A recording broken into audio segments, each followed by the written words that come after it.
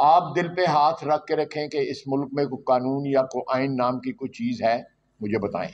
तो मैं अपने अल्फाज वापस ले लूँगा, साथ माफ़ी भी मांगूँगा आप जो जब आप अपने लीडरों का एक किरदार की पस्ती जो है, उसको एक्सेप्ट कर लेते हैं और क्यादत को उस स्टैंडर्ड पे नहीं परखते जिस स्टैंडर्ड का भी थोड़ी देर पहले मुझसे जब पहले मुकर्र ने जो है, वो इजहार किया था। तो मैं समझता हूँ कि इससे बड़ी कोई मुनाफ्त नहीं हो सकती। और यही वजह है कि अब कल रात, सारी रात दहशत गर्दी का मुकाबला जो है वो लोग कर, हमारे जो सिक्योरिटी के लोग हैं, वो करते रहे। ये दहशत गर्दी के कौन मूजद हैं? कौन दहशत गर्दी हमारे मुल्क में लेके आया? किसने ऐसे खेल खेले कि दहशत गर्दी जो है वो हमारा मुकद्दर बन गई?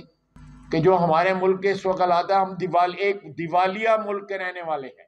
आपने सुना होगा, डिफ़ॉल्ट हो रहा है या दिवालिया हो रहा है या मेल्ट डाउन हो रहा है, वो हो चुका हुआ है। हुकूमत की ज़मीन पे 1400 1500 कनाल के ऊपर जो है गोल्फ क्लब बने हुए हैं, जिनमें इस मुल्क की अशराफिया जो है वो अपनी शाम बसर करती है। इस मुल्क ने जिन सबसे ज़्यादा जो फ़ायदे उठाए हैं, वो तबका जो है इन क्लबों में जाते हैं। अगर आप उसमें दो क्लब ही बेच देना तो आपका कम से कम चौथे हिस्सा जो है ना आपका कर्जा जो है उतर सकता है। एक क्लब है जो लाहौर में 1500 कनाल पे है 1500 कनाल पे। उसका पाँच हज़ार रुपया किराया है। और यहाँ पे गरीबों की झुग्गियाँ जो हैं, गरीबों की बस्तियाँ जो हैं, उस पर बुलडोज़र चलाए जाते हैं ताकि उनके ऊपर जो है रियल इस्टेट माफिया जो है अपने पैसे बना सके।